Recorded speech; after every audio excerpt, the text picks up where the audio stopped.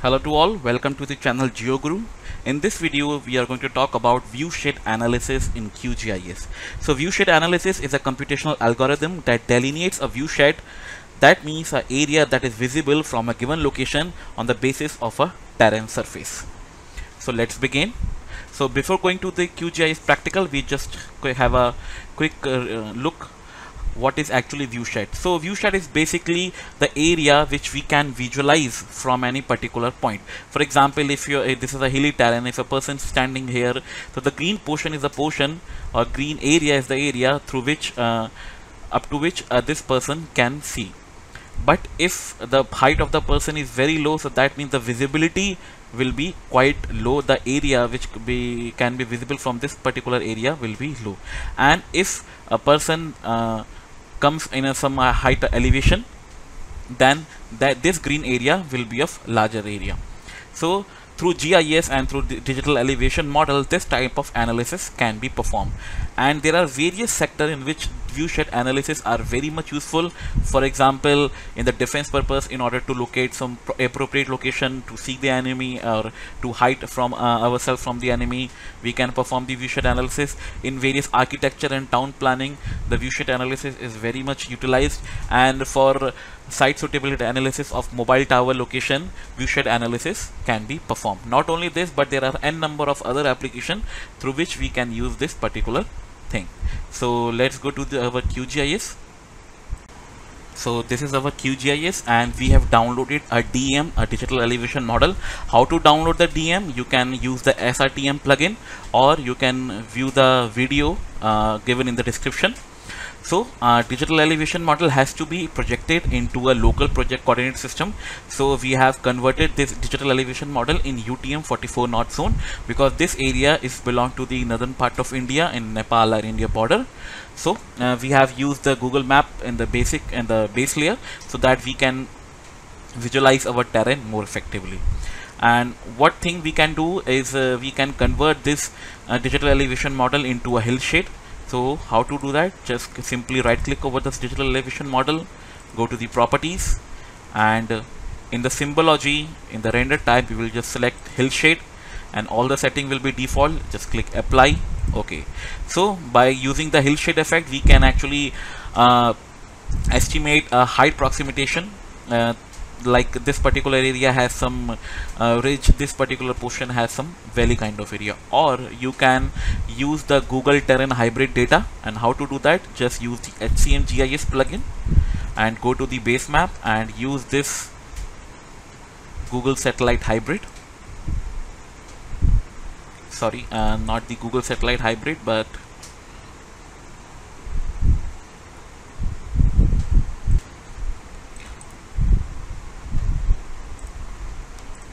but the Google Terrain Hybrid. So with the Terrain Hybrid you can see you can simply analyze that which portion is on higher side or which portion has a lower elevation. So just, we just move our TM to a higher portion. Now in order to uh, perform the viewshed analysis we are going to install a plugin known as visibility analysis. So we just go to the plugin, manage and install plugin. Please make sure you have an internet connection and search for visibility analysis. So this is the plugin. If you haven't installed this plugin you can just click and you can install the plugin. Or if it already installed you can use this plugin. So uh, I've already installed this plugin. I'll just close this. And uh, I'll just go to the processing toolbox and I'll just search for visibility analysis. So this is my plugin so first of all we just want to create the viewpoints. And in order and before that we just need to mark some points a single point or multiple point uh, from which we want to check that how much area can be visualized with that point. So we will just select any point. For example uh, just we are going to take any hilltop. Like this is a hilltop. And what we can do we just can create a temporary scratch layer. Just click on this and create a point file. Uh, please make sure that it is also should have local projection system. That means WGS 44 uh, sorry UTM 44 north zone. So we will search for UTM 44 you can select for your own area according to your OR availability. And uh, we just click OK. And we not want to create a point. So what we can do we just click this new scratch layer and create this uh, click on this three dot that means add point feature. And uh, at the area of interest we just need to click uh, create a point. So we just create a point over here. You can now we see the point has been created over this hilltop. And after that we are just going to save this file and toggle editing off. Now what we can to do uh, what we have to do we just need to go to create viewpoints in the visibility analysis and here the observer location will be the new scratch layer which we have created a temporary file. The digital elevation model will be the DEM UTM44 north and the radius of analysis. That means how much like if you select 5000 meter radius so that means from this particular point a person can view uh, approximately of 5 kilometer of radius. So we'll just select as by default. And observer height means uh, the standing the height from the ground level for that purpose. So generally we usually select 1.5 to 2 that is a nominal average height. So we just select the 1.6 and rest will be as it is. Just click run. So after that you will create you will get a new point file known as output layer. So this is nothing but a similar file that we have created with a temporary file but it has some features if you go to the attribute table it will have some important feature like observer height and the radius which will be utilized in the viewshed analysis. So next thing we are going to do is click on this viewshed and uh, the analysis type will be binary viewshed you can read this instruction that uh, what is the binary viewshed what is the depth below horizon that what is the horizon. So presently we are just going to click the binary viewshed observer uh, height will be the output layer which we have created from the create viewpoints and the digital elevation model will be UTM. Now the atmospheric refraction means the error due to atmosphere uh, and everything will be as it is. Nothing more to disturb. And just click run.